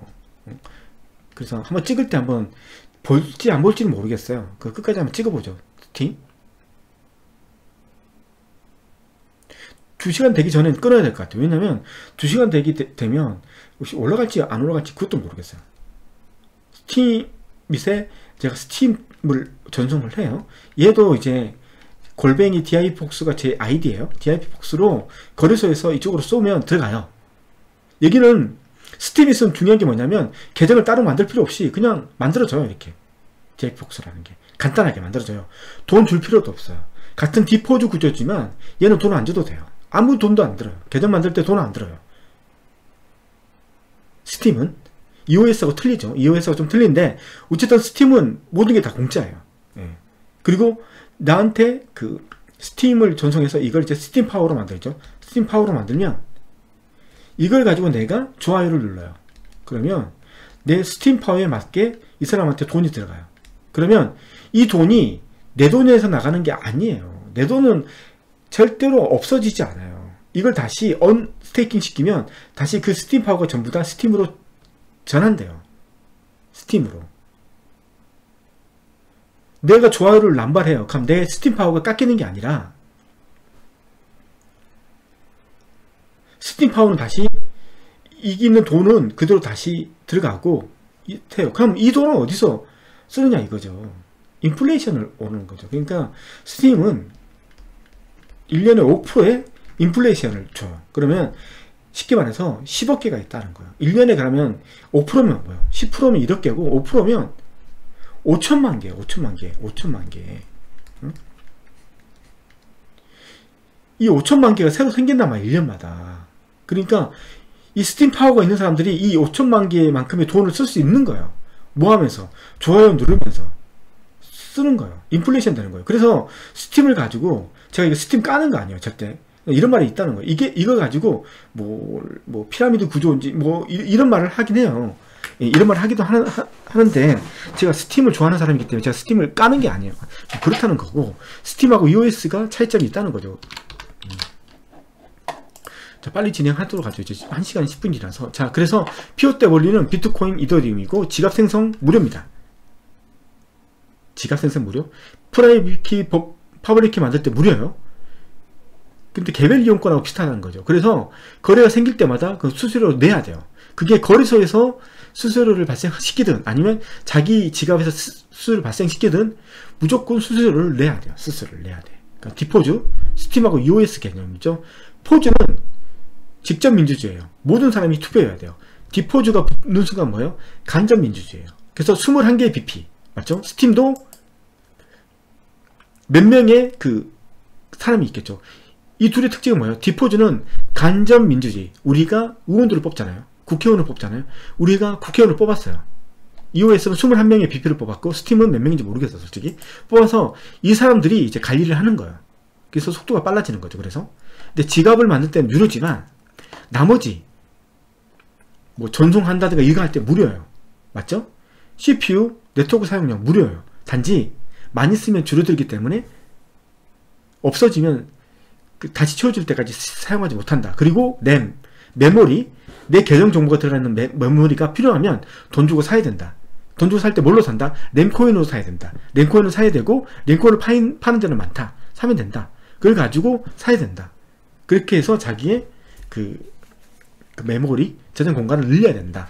이, 이게 요점이었다는 거죠. 자, 이제부터 실전편입니다.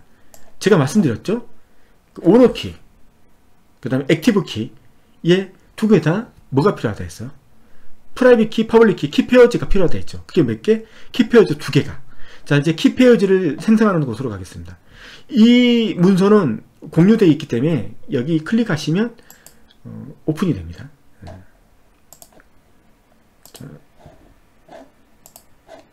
여기에요. 이걸 누르면 private key, public key 만들어집니다. 그래서 저는 메모장을 띄울 거예요. 왜냐? 저도 지금 만들기 때문에 제게 함부로 유출되면 안 되니까 이건 그냥 만들어지면 만들어져요. 이렇게 눌렀죠? 그럼 만들어졌어요. 맞죠? 이렇게. public key, private key 만들면 돼요.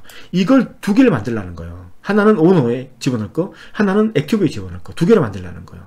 이거 이제 공개됐으니까 이거 말고 저는 안 보이는 곳에서 저는 만들 거예요. 안 보이는 곳에서 두 개를 만들 거예요. 그걸 가지고 있을 거예요.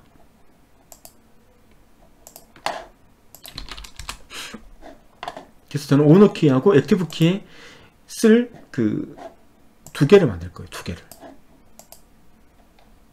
두 번 누르면 되잖아요. 두 개 만들려면. 그래서 이걸 카피해 놓는 거죠. 하나 만들었고 이건 보여줄 수 없어요. 왜냐면 이걸 보여주면 내 거 다 털리잖아요. 그게 보여줄 수 없다는 거죠. 이거 만드는 것은 무한정 만들 수 있어요. 예, 아시겠죠? 무한정. 100번이고 1000번이고 누르면 다른 키들이 계속 생겨요. 자, 이 키들은 저장하고 있어야 되잖아요. 어디에 저장을 해야 됩니까? 이런 키들은 털릴 수 있기 때문에 USB에 카피해 놓고 써야 되는 거죠. USB에. 그걸 조심하셔야 돼요. USB에. 음, 제가 보여드리려고 하는 건 이거예요. 음,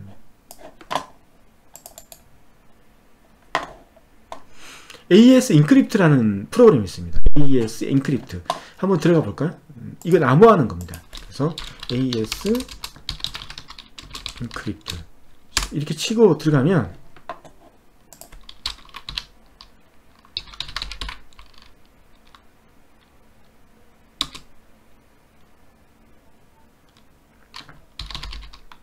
실행 파일인가?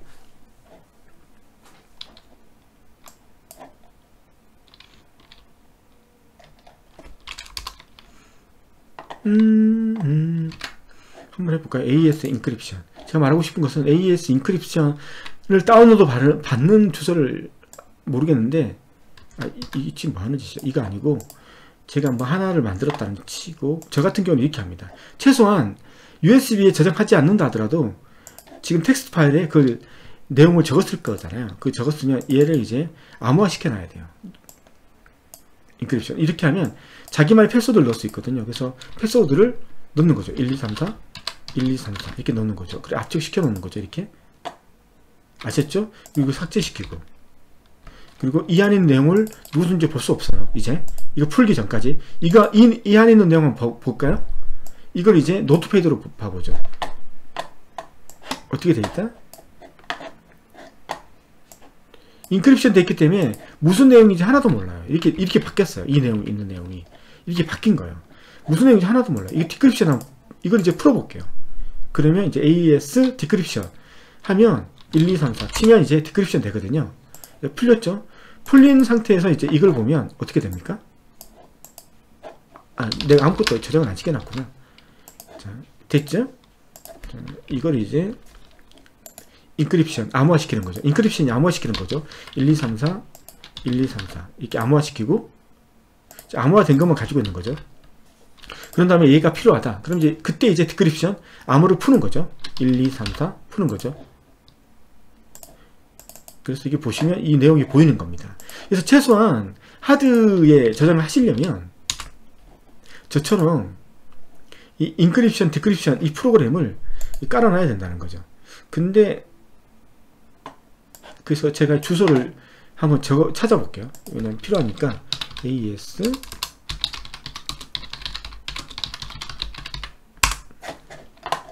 using AES Crypt encryption 윈도우 버전 있잖아요. 이렇게 GUI 버전 있죠? 여기 다운로드 있잖아요. 어. 이걸 이제 다운로드 받으면 되는 거예요. 다운로드 그렇게 하시면 됩니다. GUI 버전으로 받으시면 되는 거죠. 이거. 그래서 이, 여기에 대한 사이트를 제가 음, 공유를 하죠. 그래서 key pair 생성할 때 그 저장된 저장된 텍스트 파일을 암호화 시켜라. 이렇게 할게요. 그래가지고 여기에 이제 제가 달아놓을게요. 이게 뭘 달아 하이퍼링크를 달아놓는 거죠? 여기 주세요. 여기서 다운로드 받아서 이거 설치하시면 저처럼 이걸 암호화 시켜 놓으세요. 최소한 그렇게 하셔야 됩니다. 그래야지만 그게 털린다 하더라도 해커가 그걸 복화 못 시키면 괜찮다는 거죠. 그래서 꼭 이런 식으로 작업을 하셔야 된다는 거죠. 그래서 두 개를 만드셨죠? 두 개를 만드셨어요. 키 클릭을 하라는 거죠. 여기서 2번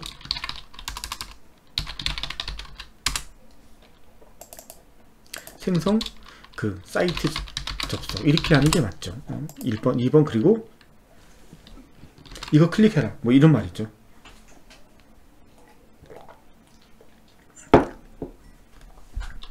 자 그래서 먼저 이제 이걸 만들었어요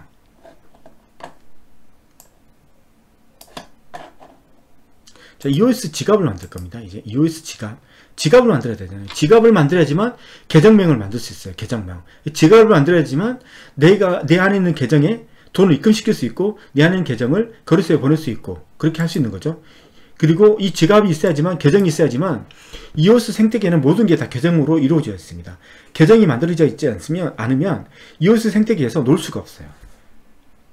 자 그래서 웹사이트 PC 모바일 버전이 있습니다. 그럼 웹사이트하고 PC 버전이 뭐냐? 이런 거죠. PC 버전은 이런 실행 UR 있, 는 거고 그러니까 웹사이트 버전은 뭐냐? 이런 버전인 거죠. 웹사이트. 실제적으로 이, 이런 웹사이트 에서 실행되는 거, 실행되는 거, 거래소 같은 거 이런 웹사이트에서 실행되는 지갑들 그리고 PC에서 실행되는 것은 이렇게 이제 실제적으로 이제 이런 프로그램들이 뜨는 거죠. 이런 PC에서 뜨는 프로그램들에서 실행되는 거, 그 다음에 모바일 버전 이 세 가지가 세 가지로 다 정리할 수 있다는 거죠. 자, 웹사이트 보면 음, 여기 보면 MS EOS 킷이라는 부분이 있어요. 그래서 이게 만드는 순서가 1, 2, 3 이렇게 만들고 이렇게 지불해야 돼요. CPU, 램, 네트워크 이런 가격들을 지불해야 되고 램 가격 확인은 이걸 누르시면 램 가격을 확인할 수 있습니다. 제가 모든 필요한 것들은 이 URL을 다 달아놨기 때문에 그래서 지금 EOS 1kg당 EOS의 가격은 0.09라는 거죠. EOS는 0.5.54달러고 아시겠죠? 1kB에 1kW 살려면 이 정도 있어야 된다는 거죠. 근데 기본적으로 계정을 만들 때 돈을 지불해야 되는데 그때 대략 8kB를 어, 지급해 준다는 거죠. 사야 된다는 거죠. 그러면 이 중에서 웹사이트로 만든 것들이 이게 있고 PC 버전이 있고 막 그런데 그럼 이 중에서 뭘 깔 것이냐 저는 어떤 분들은 Nova Wallet이 요즘에 많이 사이트에서 얘기를 많이 해요 그래서 무료 계정 생성 이벤트가 있어서 재수 좋을 때는 공짜로 돈을 안 내고 만들 수도 있어요. 그걸 그러니까 Nova Wallet에서 자기를 홍보하기 위해서 그 사용자들이 계정을 만들 때 내야 되는 그 돈을 어, 대신 거래소에서 내준다는 거죠. 그런 것도 있고 있는데 음, 이게 보면 중요한 게 뭐냐면 staking 할 수 있는 것. 그러니까 staking, 램 구매, 토큰 전송 이런 것들이 그 한 군데 다 그 기능들이 있으면 편하잖아요. 맞잖아요. 그런 기능들이 한 군데 있는 애를 선택을 해야 되는 거예요. 우선은. 그리고 Nova Wallet은 지문 입력이 돼 있기 때문에 상당히 편하게 들어갈 수 있다는 거죠. 음, 근데 Nova Wallet에 음, 얘 한번 들어가 보죠. 얘가 지금 PC 버전이 있는지 아니면 웹사이트 버전이 있는지 모르겠는데 Nova 있고 그 다음에 Nova Wallet 중요한 건 구글하고 앱스토어 두 개 모바일 버전밖에 없다는 거죠. Android Chrome Chrome extension도 지원한다게 지원한다나요? Nova Wallet? 음, 그럼 괜찮네. Chrome extension. 근데 Chrome은 어떻게? 해? staking, 투표. 그러니까 staking 할 수도 있고, 그러니까 지갑을 잘 선택해야 되는 게 staking, unstaking 해야 되잖아요. 그것도 그런 기능도 가지고 있고 거래소에 전송할 수 있는 거래 거래도 있고 투표 기능도 있고 맞죠? 계정 만들기도 지원하고 음, 간편한 토큰도 추가할 수 있고 roadmap 그리고 한국 거고 믿음이 가잖아요. 한국 거니까. 그러면 뭐 한국 사람이 그러면 이게 한국 거야. 그러면 얘는 EOS Lynx 이거 발음이 Lynx거든요. Lynx. 얘는 누가 만들었지? Lynx는? 저도 처음 만들어요. 그래서 잘 몰라요. for, 윈도우 버전이 있죠. Lynx는 윈도우 버전도 있고 음, 그 다음에 모바일 버전도 있다는 거죠. 모바일 버전도 앱스토어와 그다음 구글 플레이 두 개가 있다는 거죠. 저는 PC에서도 쓰고 싶고 그 다음에 모바일에 쓰고 싶어요. 근데 Nova는 extension이 어디 있지? extension? 그러니까 지금 다운로드 받을 수 있어요. 어, 받을 수 있는데 extension이 어디 있다는 거지? 제가 찾고 싶은 것은 extension이에요. PC에서도 쓰고 싶단 말이에요. 제가. 근데 여기 보면 없는 것 같은데? Chrome extension 지원한다. 그래. 지원해. 어디서 지원한다는 거지? 대체? 그게 중요해, 나한테는. 어디서 중요해? 어디서 한다는 거지? 팀, 파트너, contact? 이게 필요 없어. Nova를 만들 거냐. 그러니까 제가 지금 이게 기록해 놨잖아요. 만들 수 있는 곳이 상당히 많아요. 근데 지금 제가 고민한 것은 Lynx로 만들 것이냐, 아니면 Nova로 만들 것이냐 두 개요. 근데 제 판단은 그거예요. PC에서도 해야 되고, 그 다음에, 음, 그 뭐야, 모바일에서도 해야 돼요. 저, 저는 그래요. 저는 그래요. Nova는 근데, 모바일은 지원되는데, 그, Chrome extension이 지원된다는데 Chrome extension을 어떻게 하는지 없어요. 그건 아직까지 지원이 안 되는 것 같은 느낌이 들어요. 그래서 EOS Lynx가 가장 저렴한 수수료, 초보자용, 토큰 전송도 가능하고 램 구매도 있어 가능하고 램 구매는 EOS.iOS만 되는데 iO만 되는데 이런 뭐 지갑이나 이게 지갑 기능도 있으면서 지갑 기능도 있는데 여기서 램도 구매도 할 수 있고 스테이킹도 될 수 있고 그래서 괜찮아요. 근데 중요한 게, 그, 제가 처음에 말했을 때, 대불 얘기했잖아요. 대불은 유일하게 상장되어 있는 그, 거래소가 DEXEOS, DEXEOS예요. DEXEOS. 여기에요. 근데, DEXEOS에 연동되는 게 Nova밖에 없어. 젠장. 내가 왜 이걸 고민하냐면, 모바일 버전이 왜 안 좋냐면, 이 모바일 버전을 설치를 하면, 아까 제가 private key하고 public key를 입력을 해야 되거든요. 그거 어떻게 입력할 거냐는 거지. 그걸 모바일에서. 모바일로 다운로드 받아서 그, 그걸 해야 되는데 그게 엄두가 안 나서 그렇다는 거예요. 그래서 PC에서 그 계정 생성해 놓고 사용은 모바일에서 하겠다는 거죠. PC에서는 제가 있는 뭐 private key, public key를 카피해 넣을 수 있잖아요. 골치 아픈 거지. 그래서. 그래서 저는 죄송하지만 한국 사람인데 그냥 지금은 그냥 EOS Lynx로 만들게요. PC용으로 만들고 싶거든요. PC용으로 만드는 게 제가 빨리 만들 수 있어요. 이게 간편하게. 모바일은 입력하는 게 좀 그렇단 말이에요. 그래서 Nova도 만들 건데 우선은 어, download for Windows를 먼저 다운로드 하겠습니다. 네.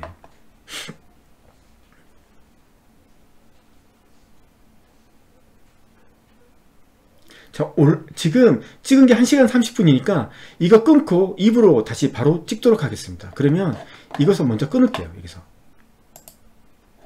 너무 많이 올라가 있으면 혹시 올라가지 않을 것 같은 그, 이감이 있어서 끊을게요. 끊고 다음에 또 하겠어요.